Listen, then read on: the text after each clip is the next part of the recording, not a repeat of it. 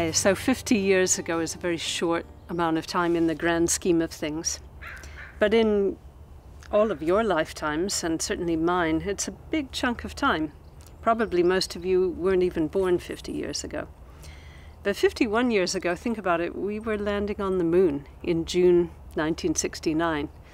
And think you've all seen that iconic picture of the, the Earthrise as taken from the moon, and how that one image just shattered our whole conception of ourselves and our place in the universe. And it also allowed us to see that incredible, exquisite, blue, gorgeous planet. I think that started to change the way we thought about everything. Now, 50 years ago, we had the first Earth Day, April 22nd, 1970.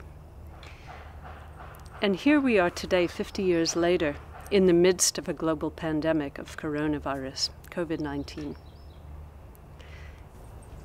This virus, as tragic and as epic and as horrific as it's all been, presents us also with an important window of opportunity to learn about what's happening with our society, what we've been doing wrong, how we can change things.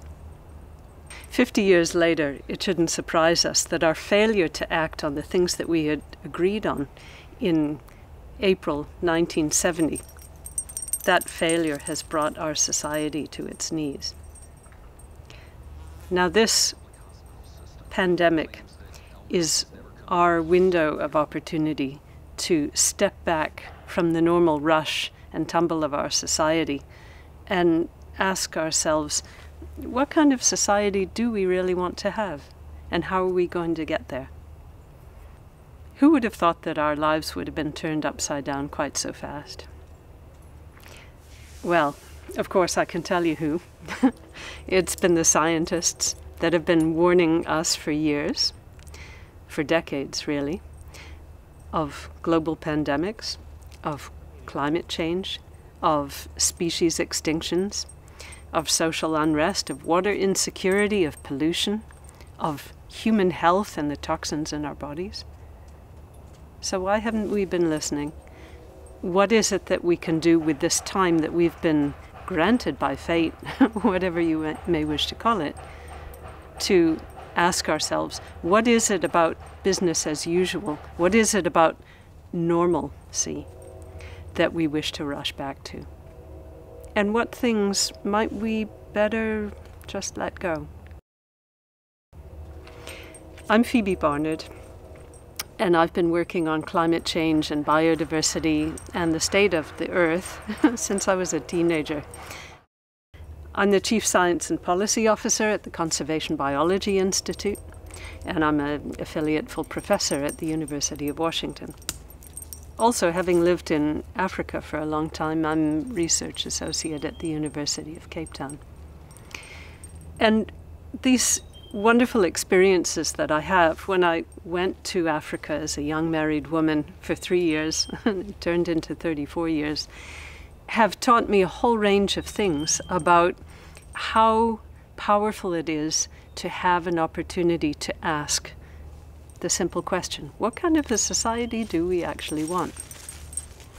Now, when I moved to southern Africa, Namibia was on the verge of its independence in 1990.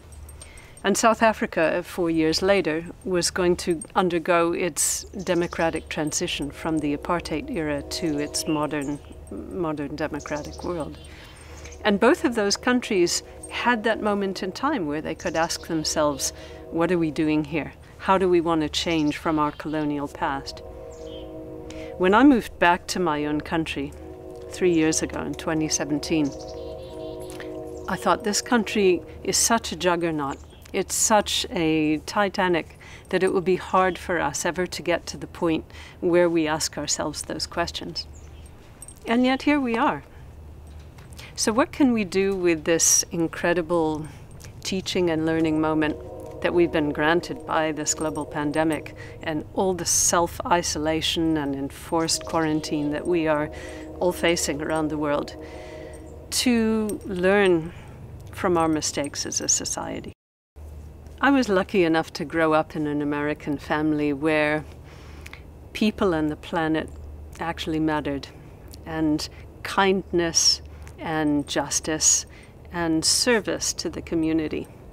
Not profit, not ego, not ambition, not status, just those gentle things of compassion and environmental health and nature and goodness. When I went off to live in Africa, I was very lucky to be in the right place at the right time where I could be brought into teams that were setting up big programs that would give effect to the constitution of Namibia, for example.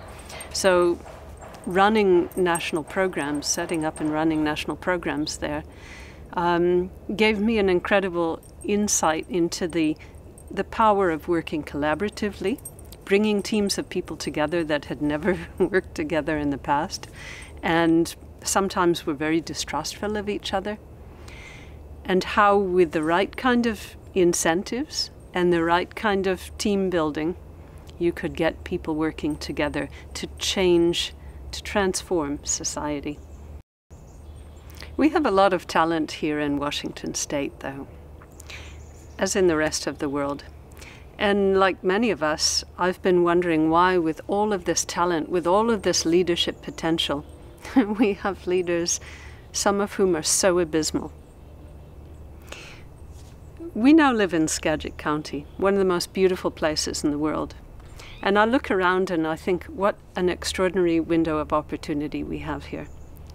In Skagit, we have beautiful landscapes, lots of arable land, fertile soils, good water security, excellent governance, and pretty well educated and, and kind communities who look after each other. And those are our greatest strengths right now. They're also the reason why a lot of people are going to want to move here over the period of climate change as life becomes increasingly hostile and untenable and inhospitable for people living elsewhere in the world. We know in Skagit County that we're already seeing changes in agriculture, in wild species, in forest health. Some of the work that we're doing in Anacortes with the Anacortes Community Forest Lands and Transition Fidalgo and the City of Anacortes as a collaborative project with a number of organizations, the Skagit Land Trust and others, that we have the opportunity to say, this is what's happening with our forests. These are the changes that are coming. We might be able to do something about that, but not if we're not looking, not if we're not paying attention. We have to be sitting with our eyes wide open and our ears open, watching the horizon in order to make changes that will allow us to adapt to the new normal. It would be a mistake to assume that this window of opportunity with good governance and good communities will be open forever. So, as I always say, the world doesn't have to be this way. we can change it. We are changing it. Become involved you will find yourself so much more empowered, so much healthier, so much more energized to be part of the solution rather than anxious about the scale of the problem. There's so much going on here our local transition movements, our YMCAs, our community uh, support groups. Find a way to get involved and be part of the solution. We've been planting a victory garden in our house where we've got collard greens, Brussels sprouts, cabbage, um, broccoli, cauliflower, um, ginger, blueberries, fruit trees, nut trees. And all of these things help us plan for resilience if supply chains are disrupted. The transition movement has been working on helping communities become more resilient to climate change and other shocks to the system. And now we are living these moments. Let's learn from these groups that are helping our, our societies transform into the future. Another thing that we do in our family is uh, keep our immune system health up. we have ginger, fresh ginger and lemon tea every day. Uh, I drink pond water, what I call pond water, not literally pond water, from our probiotic factory on our kitchen counter, where we take healthy gut bacteria and grow them to sip every day to make sure that our gut, which is the seat of our immune system, remains healthy and able to uh, help us resist coronavirus and other infections. Finally, remember what we've all been taught when we've sat on planes. If there's a problem, put your own face mask on first, put your own oxygen mask on first. In these times of greater uncertainty, greater anxiety, the most important thing that we can all do is to look after ourselves and our capacity to be resilient for those around us, to get enough sleep, to eat well, raw, healthy food as much as possible, preferably food that's locally grown, avoiding sugar and all that. Making sure that we breathe deeply every day and we appreciate the things that work well for us. Appreciate those of us who have a roof over our heads that we have that, that we have family and friends, even if we can't hug them right now, that we can stay in touch with them.